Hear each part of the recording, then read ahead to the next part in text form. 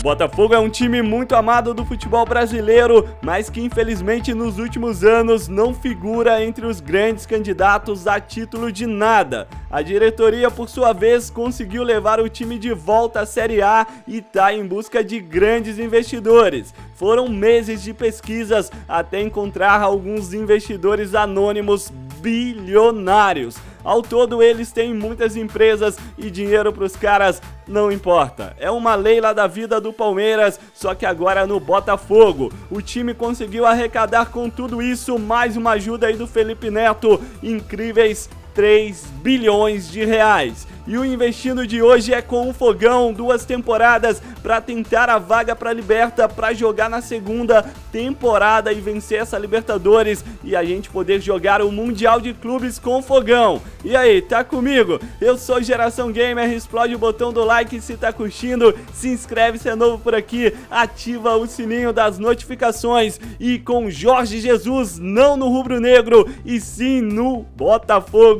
a gente começa mais um experimento pro canal.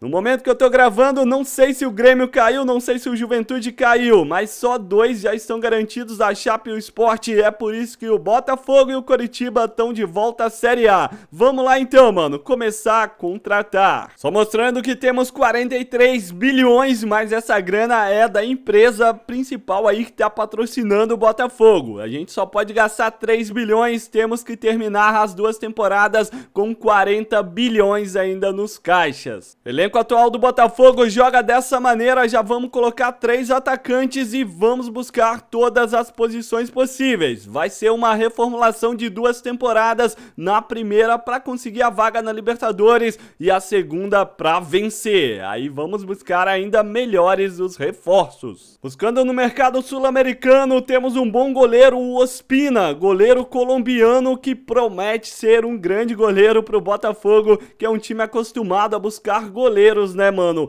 de países diferentes, como aí o paraguaio, o Gatito Fernandes. Vamos apostar nele alto, mano, ele quer jogar no nosso time, não precisamos dar mais salário, só esse valor mesmo para pagar a multa 15 milhões e a oferta tá mandada. Bora buscar um zagueiro experiente, o Germán Pezela é argentino, tá na Fiorentina, mas cara, doido pra voltar pra América do Sul. Vamos oferecer 103 milhões por um contrato de dois anos, a gente quer o cara na próxima temporada também. Salário deixamos no máximo 13 milhões, bônus de atuação de vitória e também a cláusula de não tomar gols. A ideia é montar uma zaga sul-americana e o Gustavo Gomes do Palmeiras, o paraguaio com 82 de overall, pode ser uma boa opção. 32 milhões paga a multa rescisória e ele quer jogar no Botafogo. Lateral esquerdo do Boca Juniors, o Fabra. Ele é colombiano, 29 anos de idade. O valor está em 22 milhões, o máximo que podemos oferecer. Ele não quer vir jogar no Botafogo, então vamos oferecer um salário de 12 milhões, muito bônus de vitória, de atuação e cláusula de não sofrer gols. Para lateral direito, vamos recorrer à Argentina novamente. O Bustos, com 24 anos, tem a multa de 27 milhões. Aí a gente está pagando e vamos dar um salário de 9 milhões com bônus de vitória, cláusula de não tomar gols e bônus de atuação. Todos os jogadores toparam, o Fabra tá pedindo um valor a mais, o Boca Juniors pede 24 milhões e lá o Pezela da Fiorentina tá pedindo o time deles 112 milhões mais 9 milhões. Vamos topar porque dinheiro aqui não tá sendo problema. Contratamos os 5, vamos contratar, a gente tá com muitos jogadores, vamos dispensar os ruins e fechar com esses 5, já temos a nossa defesa montada.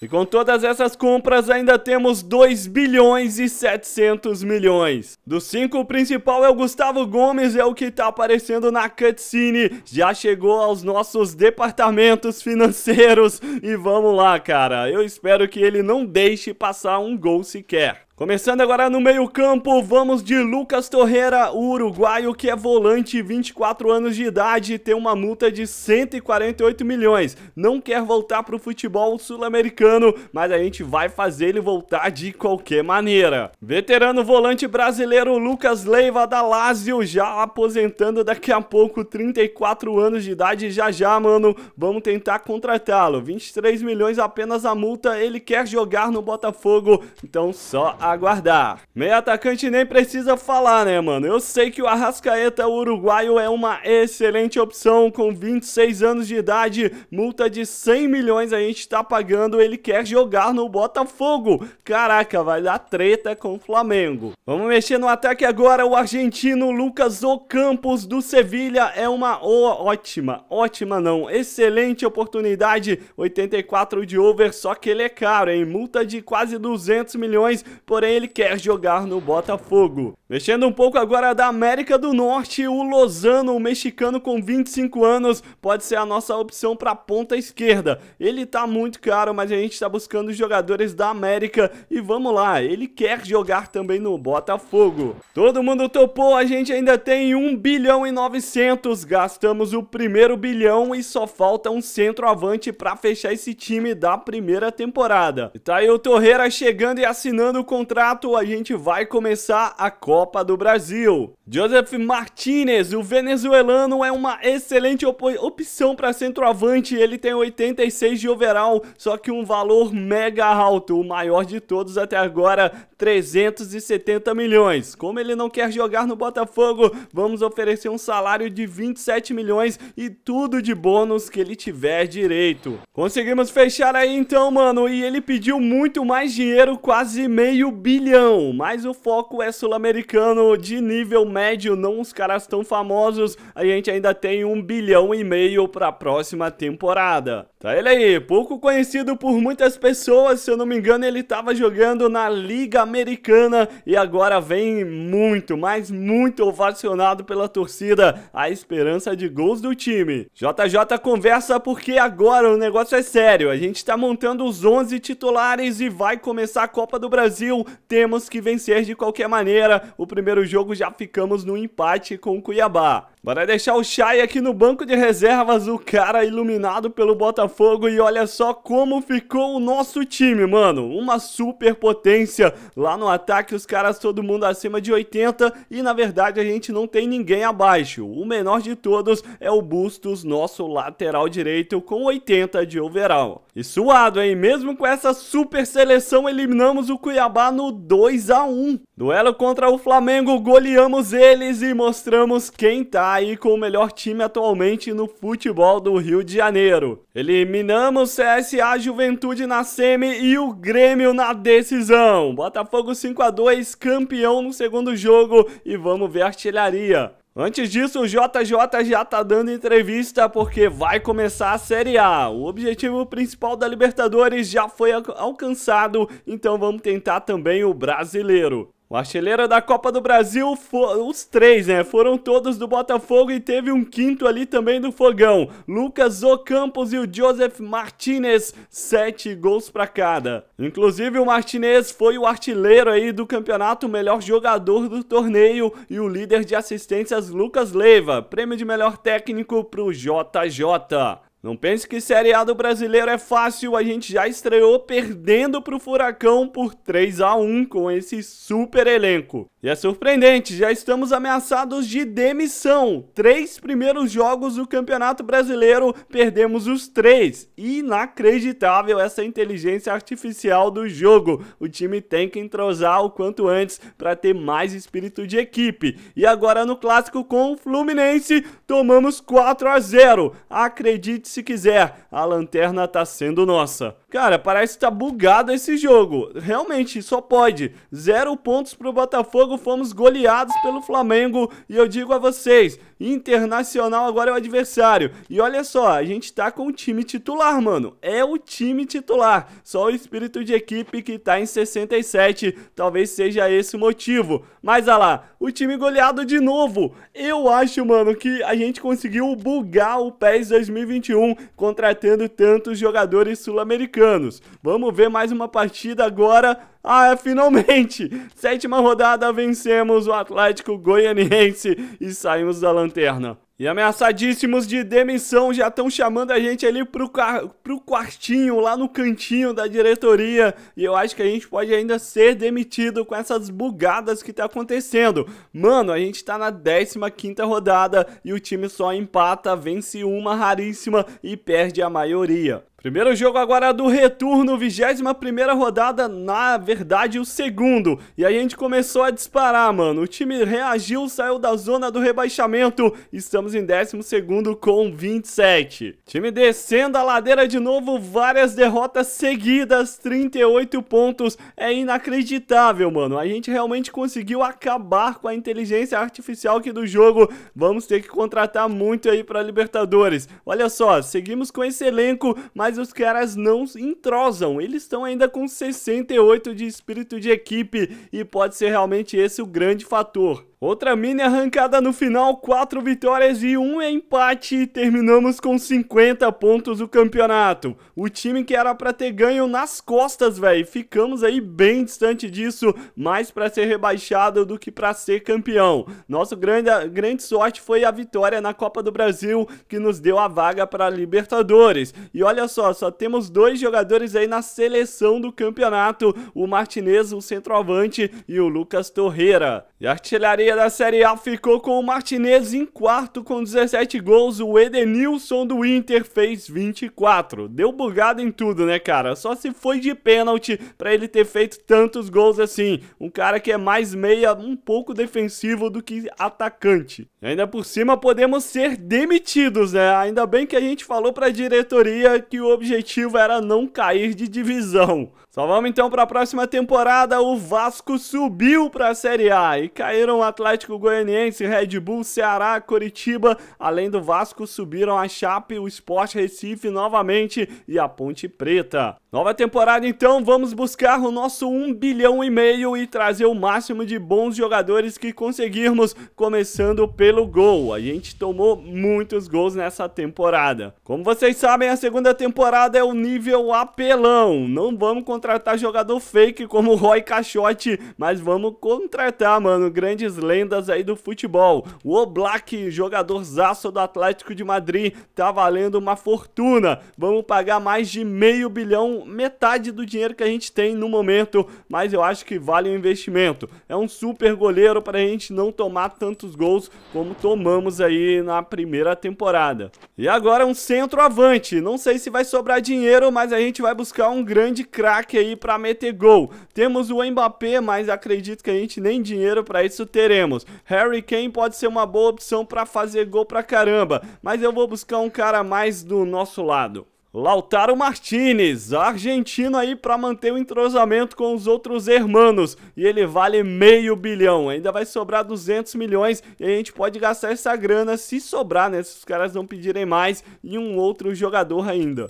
Apesar de tudo, o Lautaro não quis, mano. Ele não topou nossa oferta. E ainda bem que o Black quis, ele só tá pedindo mais salário. Mais de salário estamos bem. 741 milhões aí pra contratar é o que sobrou. Vamos buscar outro centroavante então. Cristiano Ronaldo, velho. É ele mesmo. Já fala português, tá de boa, tá em casa. Meio bilhão pra trazer ele pra essa Libertadores da América. Vamos encher o cara de bônus de atuação, de gol, de vitória. E é claro, levar o salário dele às nuvens, quase 200 milhões por uma temporada. E o Gajo topou, fechamos com ele, sobrou 252 milhões, ainda dá pra buscar um grande jogador. Sérgio Ramos, é ele mesmo, mano, já no final da carreira, quase 37 anos, a gente oferece 100 milhões aí pra ele vir pro nosso time, vamos dar muito bônus também e um salário de 75 milhões. Dá pra buscar outro jogador com 150 que vão sobrar. Vamos investir no lateral direito. O Montiel argentino também, 44 milhões, está muito barato. Eu não tinha visto ele. Dá até para buscar outro cara ainda com o dinheiro que sobrar, mas isso a gente vai deixar para alguma coisa de repente na próxima janela que vai abrir no meio da temporada. E olha o Cristiano Ronaldo. Ninguém na vida nunca pensou ele jogando no Botafogo. Fechando aí então com o Montiel e também com o Sérgio Ramos, sobrou 111 milhões.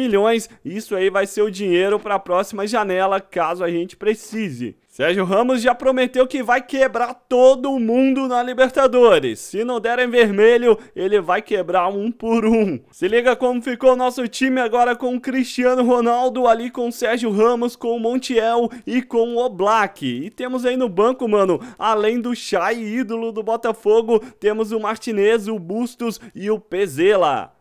Além do Ospina também, que é goleiro. Quis o destino que nossa estreia na Libertadores fosse contra o poderoso Boca Juniors. Então, bora lá. Perdemos lá na Argentina por 2 a 0. Parece que o bug, mano, continua aqui na segunda temporada. Além do Boca, tem o Universitário The Strongers no nosso grupo. Mas curioso que o bug parece que só tem lá, mano. Na Copa do Brasil não tem. A gente foi eliminado nas semifinais pro Atlético Mineiro. É que jogar no La Bombonera é complicado. Jogamos dois jogos depois do Boca e vencemos os dois. Também vamos ficar de olho agora no Campeonato Brasileiro para ver se o bug vai acabar ou ele vai seguir em frente e a gente vai brigar é contra o rebaixamento. Terminou a fase de grupos da Libertadores, perdemos novamente para o Boca Juniors, porém vencemos todos os outros dois adversários duas vezes e estamos classificados em segundo lugar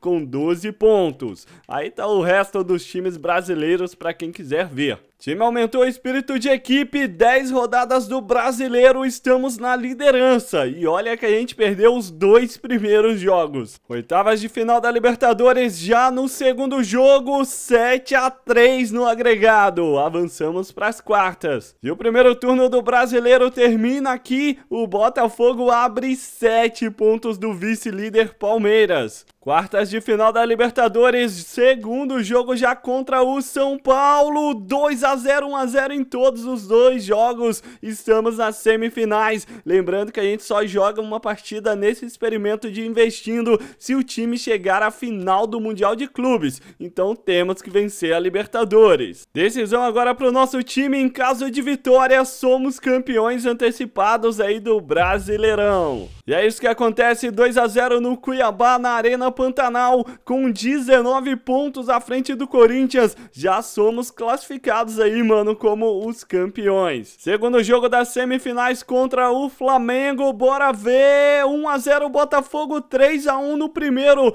4 a 1 no agregado. A decisão da Libertadores é contra o River Plate e eu confesso a vocês que eu achava que a gente não chegaria nessa depois daquele bug da primeira temporada e do início aí da segunda também. Vamos então então, pra decisão é jogo único pra quem não tá ligado e aqui não tem reset. A gente vai aqui sem salvar, sem nada. Tá o JJ dando entrevista ao lado do Gustavo Gomes, que é o nosso capitão. É o cara que pode levantar a primeira Libertadores pro Botafogo. E agora? Bora ver, bora ver. 1 a 0 Botafogo.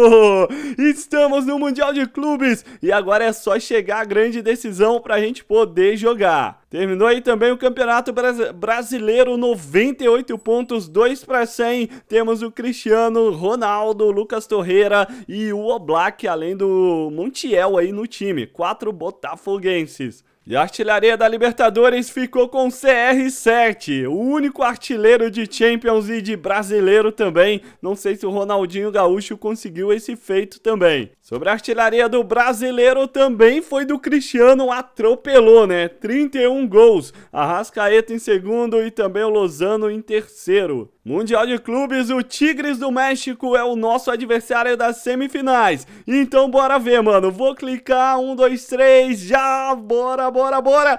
1 a 0 pra cima do Tigres. E o PSG venceu o Al Ali por 1 a 0. Eu quero chegar a um experimento que isso aí vai dar zebra. Uma hora vai, mano. Vamos então pro jogo Botafogo versus PSG, final do Mundial de Clubes. Então confere como tá o nosso time pra esse jogão, mano. Bustos estava improvisado ali porque alguém machucou. Mas vamos voltar, o Lucas Leiva tá de novo no time. Vamos lá, esquenta, 5 minutos apenas de duração, nível lenda, bola rolando. Já começa o Messi lançando o Neymar, saiu livre para bater pro gol. É gol do PSG. Neymar Júnior. E tá ali, mano, até com aquela no... aquele novo penteado dele. Bola no Di Maria, bati pro gol, mandar pra fora, ele tava caindo no lance. E o PSG chega com o Verratti, o tapa no Messi. Ah, nossa, tá fácil, hein? Nosso goleirão Oblak que salvou. Fabra, de cabeça, Torreira domina no peito, sai jogando. Arrascaeta devolve pra ele. Vamos lá, mano. Axis passou. É boa, Sérgio Ramos limpou pro Cristiano. Camisa 11 pro CR7. É sim. Tá tudo igual. JJ bota o time altamente ofensivo no segundo tempo. Ou a gente toma uma goleada, ou a gente vai em busca da virada. Sérgio Ramos tocou e Cristiano guardou. E ó, bom domínio do Fabra. Adiantou ela pro Lozano. Aí o mexicano com Torreira. Boa. Arrascaeta inverte por cima, procurando o Montiel. Jogada é top. Tem jogadores na área. Cristiano cabeceia muito bem, mas a bola vai muito forte para ele. Messi tocou pro Vinaldo. Travou, Lucas Torreira ficou com a sobra. Olha o espaço que temos. Vamos lá, Sérgio Ramos lança, lança pro pai. Tá passando a Rascaeta, viu o Lucas Ocampos. Ficou na boa, vai fazer a virada. Vai, vai, vai, vai, Cristiano! Gol do Botafogo! Sim! Cristiano Fera Ronaldo, ele é iluminado, seja em decisões para Portugal, seja em decisões de Champions League, seja em decisão de Libertadores. Ele estava passando da bola, se esticou no carrinho e vira virou para cima do PSG. 2 a 1, meu irmão.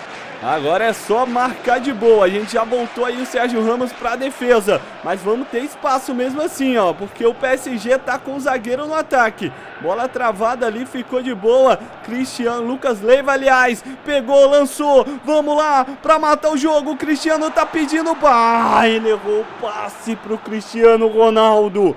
Eu não acredito. 40 minutos. Vem bola sobrando, era pro Messi. Sai de boa. Aí o Black, vamos na manha, na manha Sérgio Ramos, não brinca, sai no passe pra gente ganhar tempo lá no ataque. Lucas Torreira tá passando livre a Rascaeta. Vamos lá, Cristiano tá pedindo. O CR7 quer o hat-trick também na Libertadores. Passou muito perto. Já meti a abraçadeira pro Cristiano para aumentar o espírito de equipe e para ele ter a chance de levantar uma Libertadores na carreira. Pode ter até mais um ataque. Vamos ganhar, vamos ganhar. Ah, dá mais um ataque, mano. Dá mais um ataque. Mas tá de boa. Fim de papo. O Botafogo conquista uma Copa do Brasil, um Brasileirão, uma Libertadores e um Mundial de Clubes no nosso experimento. E tá lá, ó, tá lá, Cristiano Ronaldo levanta o Mundial de Clubes pro Botafogo. Que experimento, mano. Que investindo 3 bilhões foi esse? A gente escapou do erro do bug do PES. Tava tudo conspirando contra, mas demos a volta por cima e o Mundial é nosso. Tamo junto sempre e até a próxima. Levanta aí, Cristiano.